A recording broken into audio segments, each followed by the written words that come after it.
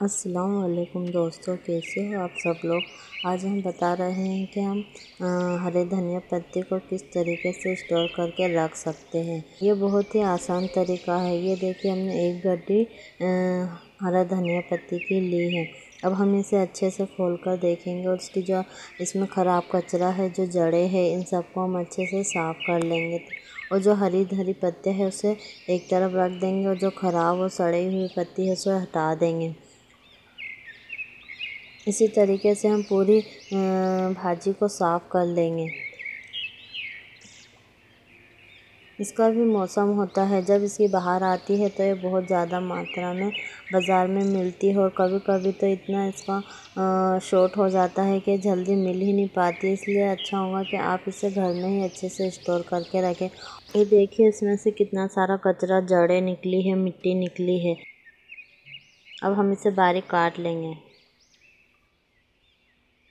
महाराष्ट्र में इसे समार कोतमीर कहते हैं।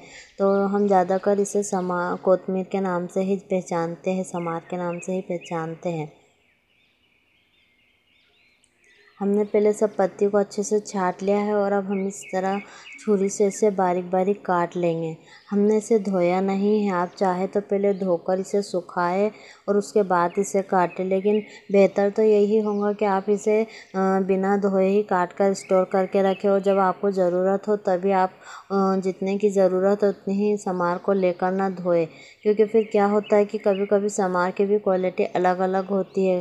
कुछ समार ऐसे होते हैं जो धोने के बाद सुखाने के बाद भी ख़राब नहीं होते, जैसे कि तेल से रहते हैं। और कुछ सामान ऐसे होते हैं जिन्हें कितना भी सुखा ले और कितना भी अच्छे स्टोर करके रखे, वो ख़राब हो जाता है, काला पड़ जाता है, सड़ना लग जाता है।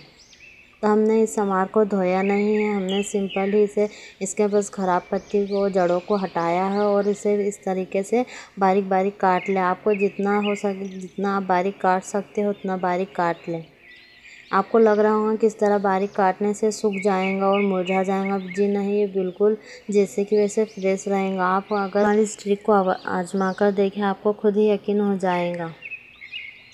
ये बिल्कुल ख़राब नहीं होता है। हम हमेशा ऐसा ही करते हैं कि जब ज़्यादा मार्केट में सामान मिलता है तो हम इस तरीके से ज़्यादा बुलाकर उसे बारीक काट कर एक डब्बे में भर कर रख देते हैं। हमारे पास स्टील का डब्बा है। हम प्लास्टिक के डब्बे यूज़ नहीं करते ज़्यादा। हमारे पास स्टील का डब्बा है। उसके अंदर हम नीचे अखबार बिछाएँगे और उसके अंदर इसे रख देंगे। देखिए, हमने इसे थोड़ी देर के लिए अखबार पर फैला दिया है ताकि कटिंग करने के बाद इसके अंदर का जो पानी होता है ना, वो गीले, उससे सामान गीला हो जाता है। तो ये पहले थोड़ा हड़क जाइए, हमारे पास एक गड्डी और है। इसे भी हम इसी तरीके से काट कर स्टोर कर लेंगे। पाँच दस मिनट ही इसे रखना है। आप चाहे तो कपड़े पे भी फैला सकते हो। हम बाहर बैठे हैं आँगन में, इसलिए हमने इसे अखबार पे हवा में फैला दिया है। ये देखिए, इस तरीके से पेपर का टुकड़ा लीजिए, उसे नीचे बिछा लीजिए और उसके ऊपर इस समार को इस तरीके से रख लीजिए। टाइम बचाने का बहुत अच्छा तरीका जब हम खाना बनाते हैं तो बहुत जल्दी में होते हैं। हमें हमारे पास टाइम नहीं होता कि हम सामान निकालें, उसे कटिंग करें और फिर डालें। इससे बेहतर है कि आप इस तरीके से इसे कटिंग करके रख लें। बस आपको जब भी यूज़ करना हो, आप इसे निकाल और धोकर इसे यूज़ कर सकते हो।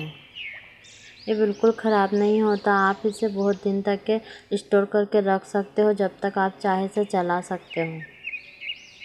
आप प्लास्टिक के डब्बे में भी रख सकते हो, पॉलीथीन में भी रख सकते हो, लेकिन बेस्ट है कि आप स्टील के डब्बे में रखें ये देखिए, हमें जितनी ज़रूरत है हम उतना सामान लेंगे, उसे पानी से धो लेंगे। कुछ लोग बोलते हैं कि कटने कटिंग करने के बाद किसी भी चीज़ को धोना नहीं चाहिए, उसके अंदर के सारे पौष्टिक तत्व ख़त्म हो जाते हैं। ऐसा कुछ नहीं है, आप कटिंग करने के बाद भी हर चीज़ को धो सकते हो। ये देखिए, जितना भी कचरा था, वो सब पानी में नीचे बैठ गया है। वैसे भी हमने सामान अच्छे से साफ़ किया था, इसलिए इसमें ज़्यादा गंदगी नहीं निकलेंगी। आपको हमारी वीडियो कैसी लगे, हमें कमेंट करके ज़रूर बताएँ। अल्लाह हाफिज़।